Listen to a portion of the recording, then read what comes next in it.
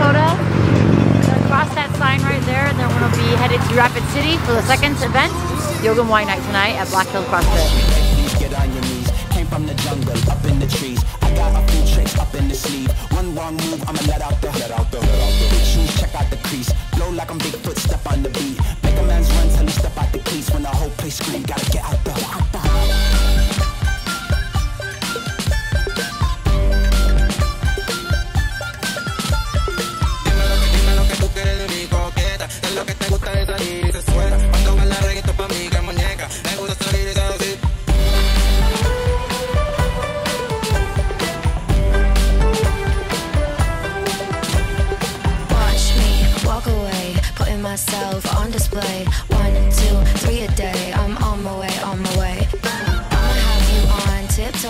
watching my diamond afterglow. I know you wanna take me home. I'm on my way, on my way.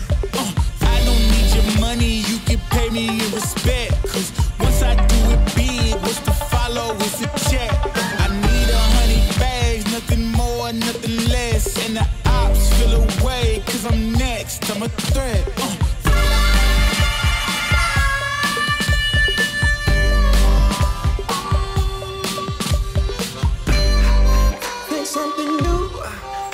Sun. Mm.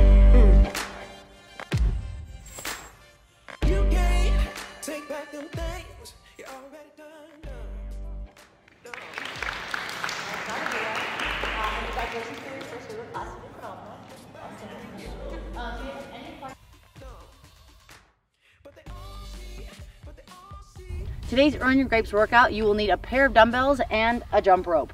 We are going to do five rounds of 12 dumbbells shouldered overhead, 24 mountain climbers, and then 48 double unders.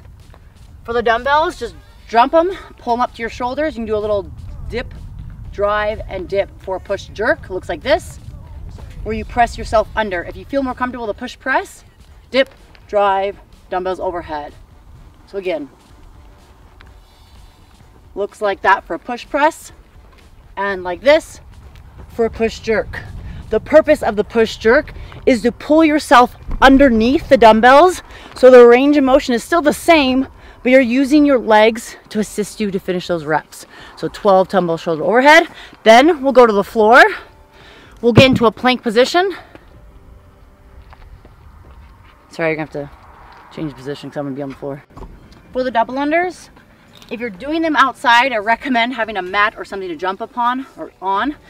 For double unders, hold the bottom half of the handle. Think of jumping nice and tall, small, bend or jump, bounce in the knees. I like to keep my elbows by my rib cage, rib cage, forearms or hands in front of me, and it's a big flick of the wrist versus elbow or arm. So it looks like this.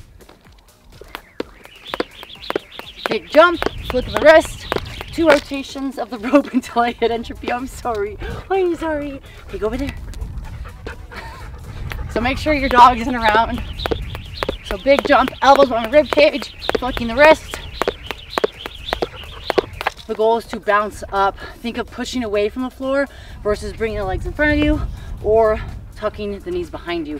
If for whatever reason you don't have double unders, you can do double under attempts. So try to include as many double unders and then get some singles in there. If you don't have double unders, then go to single unders, but double the reps.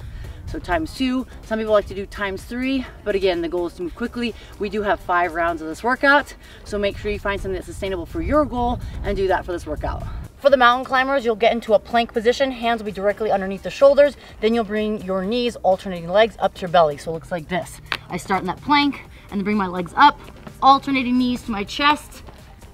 So it'd be one, two, three. So 24 reps would be essentially 12 reps, one on each side.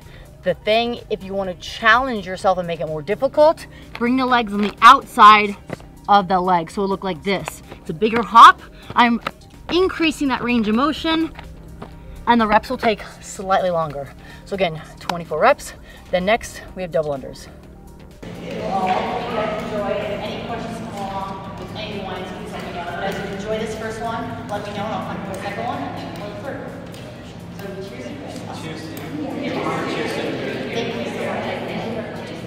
Don't be shy. Please don't be shy. So you want more. A lot of people want that.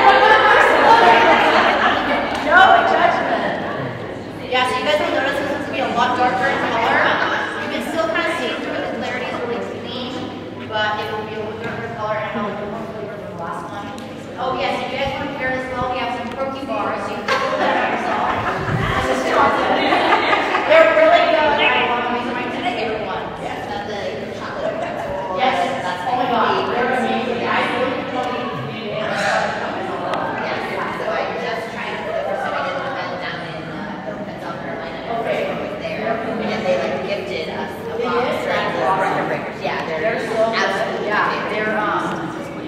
But this is this is a peanut butter one. The- yeah, this one is my favorite. They're both amazing. This one was my first favorite. Please, I don't care. Touch it.